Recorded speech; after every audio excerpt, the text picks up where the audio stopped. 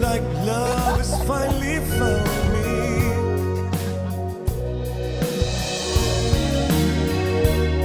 I love you. Oh, shit!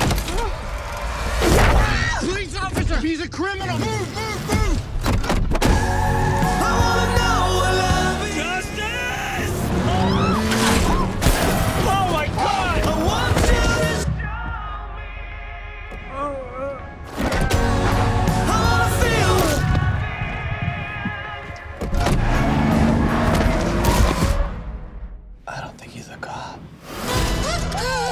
He's dead. We know he's dead, but we didn't kill him. He like to report a murder or whatever. We didn't murder anybody. One, two, three, go. What? Jibran! Okay, the guy's name is Jibran. Run, Leilani. And the girl's name's actually Leilani.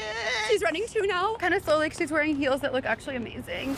Loving albatross hanging by my neck. We have to go to the police because we have nothing to hide. Why did you run from the scene of the crime? Good question, officer. That's me covering up my body cam so I can beat your ass. Way out my love. We just need to find the guy the police are looking for. So you're suggesting we actually solve a murder? It's locked. Did you think it was one of those men-only doors? I walk, walk, the sky. Walk, All we need is a name, the sky. And then we're in the clear. Hey man, it's been a minute. Who are you? Who do you work for? You little bitch. You little beanbag ballless bitch. Yeah. Do you think about your grandma and that furry beanbag bitch? What? Way out my love. People are super dangerous and they're really powerful.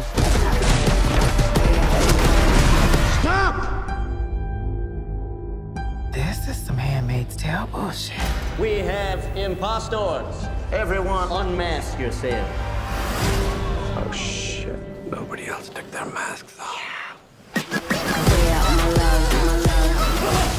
give you lovebirds a choice. What's behind this door or bacon grease to the face? I don't want grease on my face. Is it gonna shit on me? Take the grease. Way out my love.